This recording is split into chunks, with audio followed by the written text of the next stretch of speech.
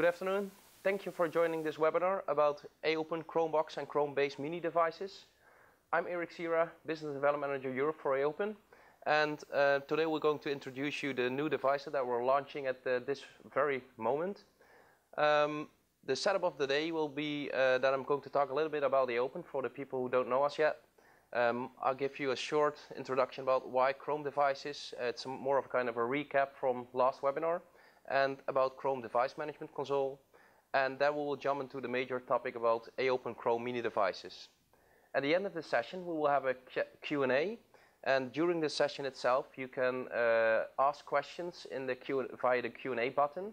And at the end, we will try to answer as many as possible. So the first topic is about AOPEN. Um, as you probably all know, uh, AOPEN is a manufacturer of small form factor uh, PCs uh, built for 24-7 applications. Uh, we are a highly qualified supplier for the digital signage market, and we are certified by the leading digital signage software vendors. Um, we exclusively work via partner channel of distributors and uh, resellers, as well Google for Work partners, are, which are resellers from us, who we support to deliver to the end customer. Um, and we have a high level of knowledge and services to support our partners in, into projects. So a little bit more about the big overview about AOPEN. Uh, we are part of the PAN-Acer group, and below the Pan Acer group you have Acer, BenQ, and Wistron. And AOPEN is part of the Wistron group. So um, we are part of a, a, very big environment, but eventually AOPEN is a, is a company that defines its own strategy and structure. We have uh, offices uh, all around the world. Um, our HQ is based in Taiwan, Taipei, and we have regional side offices in every region. So in North America, Europe, Japan, China, and Australia. And from those local or regional offices, we support our partners and projects to do global rollouts.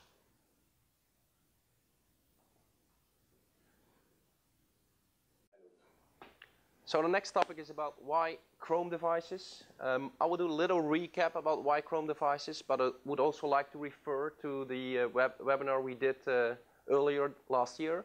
Um, you can find that webinar on youtube.com slash aopeneurope. And it's a webinar called Why AOPEN Commercial Chrome Devices, where Ruben van der Stak from Google explains more uh, about Chrome OS and Chrome Management Console. So this will be a short recap about this. So why Chrome devices? Chrome devices are fast, secure, and cost-efficient computers that run on Chrome OS, um, which can be centrally managed. And I think that's, that's one of the key features of the total platform that is provided by Google. Um, the hardware itself, the OS, and as well the, the management of it.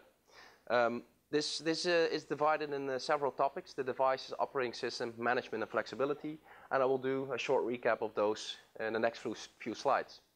So about the devices, each Chrome device has to be certified by Google. That's not only for AOPEN devices, but also for devices from other manufacturers. Um, that means there is a, Google can really make sure that the devices work in the, in, a, in the right way and give the, a lot of performance. Um, what is important to notice is that there's only one OS version available for each device. So if you have an open device or a device from a different manufacturer, the OS version is the same. Um, as well, devices are simple, reliable, or they say no moving parts. AOPEN is the only manufacturer with devices that have no moving parts or are fanless. And that means they are more reliable because without a fan, you have less uh, chance of failures due to fans. Um, another important topic is that each device has a redundant copy of the operating system. So you have the original OS on the system and a redundant copy. If something goes wrong, uh, the device are able to uh, do, a, uh, do a recovery of the system by uh, putting the redundant copy on the, on the, on the system itself. And last is that the devices all work with a TPM module or TPM chip. That's for hardware encryption to make it very secure. So a quick look at the operating system. Um, the operating system itself is free to manufacture, so, so you don't pay any, any money for the OS itself. Um, and they work with automatic updates. So every six weeks there's a new update of the stable release of Chrome OS. However, they have two different versions as well. Um, you have the stable release that's on e each device worldwide, and you have a beta release and development mode. And this makes it able to test uh, new features, new updates in the OS before it will be released on a stable release. Uh, so it's very easy to manage this via the Chrome Management Console. Um, the last thing is it's very secure. That has to do with the OS itself and of course with the TPM module, but also the way that Google um, has programmed their OS in sandboxes so that not each different applications can interact with each other. And it makes it very secure. So management has to do with the Chrome Management Console, and I think that's, as I mentioned before, is one of the, the, the good features about the, the complete solution, uh, because you can manage all your the complete fleet of devices, if it's A-Open or from another manufacturer, via that one console. Uh, and you can manage their uh, uh po different policies, different settings, and I will explain that a little bit later. Um, so uh, you can monitor and uh, create notifications. You can see CPU load, and you can do also remote troubleshooting. Uh, so like a, a, screen grab or uh, the, the, reboot or uh, stuff like that. Chrome OS is also very flexible. It's based on industry standards. Uh, so especially on HTML5, if, if someone is able to develop on HTML5, you are able to develop a Chrome kiosk app or a Chrome app. Um, then uh, it has a broad support for peripherals, and, and I think important in that one is that uh, all a wide range of USB, USB devices can be used on Chrome OS.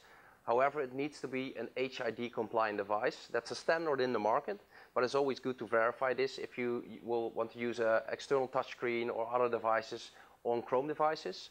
And, uh, and there's a one unique feature for AOpen, that's the RJ50 uh, peripheral uh, possibility because on the Chromebox commercial we have a RJ50 port um, which you can connect to a screen via an RJ50 to a serial uh, converter to control the screen, for example, on off of the screen.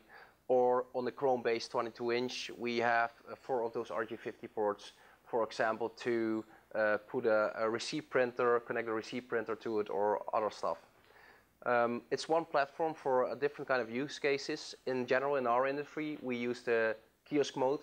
And kiosk mode means that um, if you start up the device and it's uh, pushed to kiosk mode via the Chrome Management Console, um, the device will start up, go eventually, uh, automatically through the credential phase and give you directly a full-blown application, which you cannot exit. So you can only exit it via uh, external, an external way or via the Chrome Management Console, but it's not able, you're not able to just exit the application.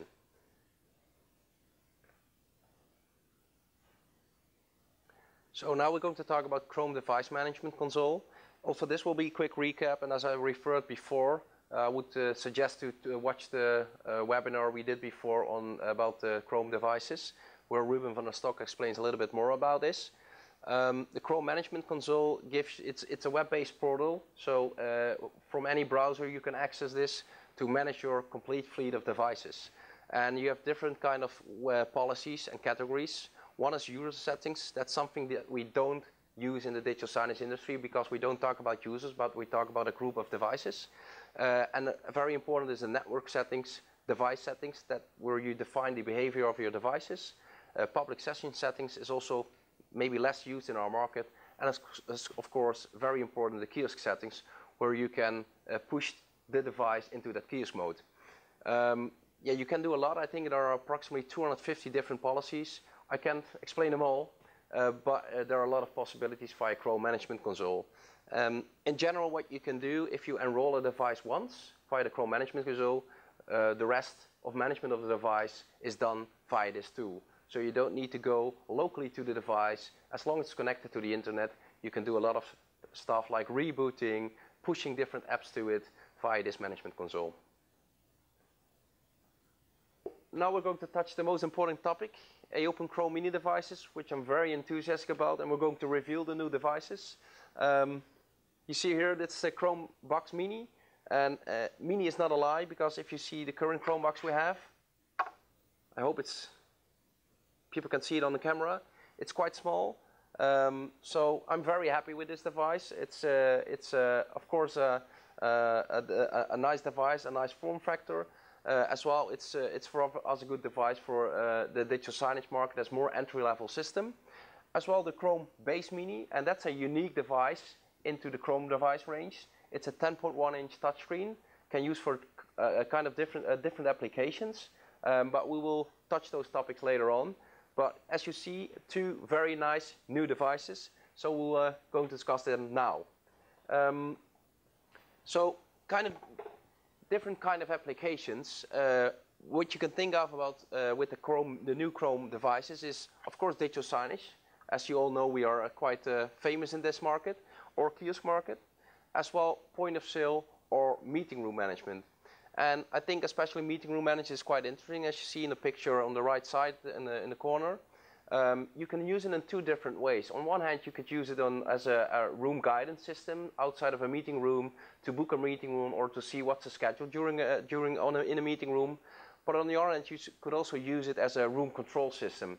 So if you would have a, a certain uh, Chrome application uh, that could um, um, communicate to AV systems, you could be able to control your meeting room via a 10-inch Chromebase.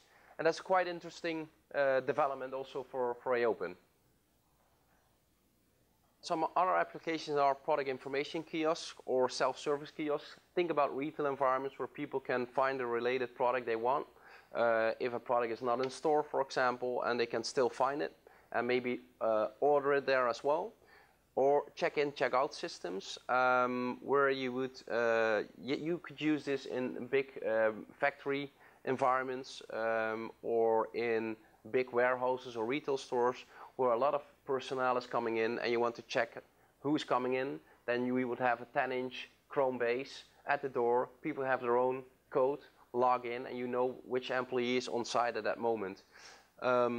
Self-service reception or uh, a secure browser experience, for example, in banks, where you want to do online banking for customers and you want to provide them a tool where they can do an, uh, online banking in a secure way. Uh, a 10-inch would be very suitable for that kind of purposes uh, ordering kiosk or customer satisfaction survey kiosks, which you see more and more the last few years in, in retail environments where people can like a store in the physical store itself in, instead of going uh, online on Facebook or whatever. So now we jumped into the product specifications about the Chromebox Mini and Chromebase Mini. Um, I will go not, uh, or don't talk too long about the specs in this case. However, it's good to mention it. Um, for the CPU point of view, both systems has the same CPU. It's a Rockchip RK3288. Um, probably some of you know there are other manufacturers that use the same Rockchip in their Chrome devices. Uh, I want to mention that there's a, a, a quite, a, quite a difference between uh, those and, and, we because we are able to empower 100% of the CPU in, in our devices. And that has to do with the thermal flow we have designed in our devices. So we see uh, some better performance on that side. And that also has to do that we have 2 times 2 gigabyte of memory. So um, both devices have the same specs. Um, and uh, we can uh, provide you with some specs, spec sheets on request if, if necessary. Some feature about the Chrome Mini devices. Um, as you know, uh, in general, we have auto power resumption on all our devices, if it's Chrome or not. As well, the Chrome Mini devices have this function, which means eventually if the power comes on the device, it will automatically start. That's not in general for Chrome devices, but the Open Chrome devices has this feature because we know how important it is in retail environments that the device starts up automatically when power is, is on the device. Uh, because a lot of times in retail environments, at the end of the day, people lock down the building, all the power is from uh, uh, off the devices, uh, besides maybe the cash register or uh, the security cameras, and in the morning the power comes up back on the store, and then the devices need to boot up automatically. Uh, as well, we have the secure power connector. It's a simple feature, but it's a very important feature that people cannot pull, pull out the power plug of the device. On the Chromebox uh, Mini, we have a lockable power connector, and on the Chromebase Mini, we have an I.O. cover, which uh, makes it very secure in that case, and that people cannot pull it out. Of course, there are fanless systems, and the ultra small form factor, as already mentioned, it's I think half the size of the standard Chromebox we have, so it's very, very thin and slim. Um, and um, good to mention that there is a standard warranty term of one year on the device, and we can extend the warranty up to three years for additional costs. So some other features about the Chrome Mini devices, and, and some I'm very enthusiastic about, is especially the support Android kiosk apps. Um, as maybe some of you already have seen is that Google announced it that they will support Android uh, kiosk apps on the Chrome Mini devices, and then you will be able to push the Android app via the Chrome Management Console. Um, it could mean that it uh, needs some small adjustment in coding, uh, but it can run. Uh, some we already tested some, and some run out of the box, and some uh, run after some small coding. Um, a very important thing as well to mention is that the kiosk mode is only available in the Chrome Mini devices via the Chrome Management Console. So in the past, it was a, a, you were able to put them in kiosk mode also in different ways, and now it's only available via the Chrome Management Console. The next one is the alternate, the alternative for tablets. And the reason why I mention this very specifically is that we've seen a lot of tablets used in retail environments the last few years. Um, we also have seen and heard a lot of fail, failures and failed projects the last years. Uh, think about uh, normal tablets that are not built for this kind of purposes for 24-7 usage to have uh, the power continuously on the tablet or uh, iPads or whatever. Um, so you've seen, we've seen swelling batteries, uh, all kinds of stuff. And I think that's the interesting part of the Chromebase Mini. It's built for this kind of application. It is built for put uh, connect to the power continuously. So it's a very good alternative and it's a very fluent experience as well with the management console. You just push the app to the device or push uh, the website you want to uh, run on the device to the device via the management console and you're, you're done. You can run your application or run your website in, into a retail environment or whatever. Um, it's also uncomparable to consumer grade hardware. Of course, that's has related to the, the tablet part. Um, it's built for this kind of applications for 24-7. So um, I think people that are known in the market can, can uh, agree on this one, um, but it's always good to, to mention this uh, specifically. So a little bit more in depth about the Chromebox Mini. Um, I think we already touched uh, some of those topics um, because it's a tamper-proof design for 24-7 usage. Um, it's the smallest Chrome device form factor available in the market today. Chrome boxes, of course, is one device that's a little bit smaller, but it is also different from performance point of view, and is a very cost-efficient solution. Um, if you want to know more about the pricing of the Chromeboxes and Chromebase units, the new, the new devices, then I would suggest to reach out to the, uh, uh, the regional channel salespeople or just pop up a message to the request at aopen.com and we can refer you to the right person. Um, it's a solid state and fanless design, of course, and auto power we already discussed. Standard in the box, there is uh, also the antennas. So um, you don't, we have external antennas because we have a metal chassis and it's necessary to have a good reach. Um, that's why we have external antennas. Um, you can mount it, for example, on a desk or under a desk or behind a small monitor because it's very small, it fits in almost every space.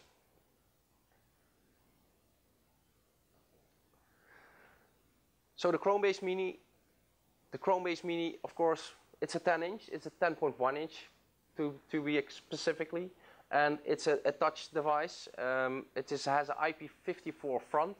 And um, there's one thing I didn't mention yet. It's, uh, it has a highly qualified camera and speakers to meet uh, the Chrome video conference and Hangouts requirements.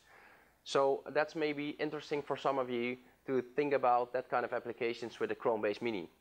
Uh, it has a wide viewing angle. It can be uh, used in landscape and portrait. Standard in the box, there is also a, simple and small mounting bracket, which you can put in different ways on the device to put it in a portrait mode or in a landscape mode. Um, standard warranty, as mentioned before, is one year, extendable up to three years. So I want to thank you for joining this webinar. Uh, we will now jump into the Q&A part. Um, hopefully you enjoyed it and uh, hopefully you will reach out to us later on with if there are any specific questions. Thank you.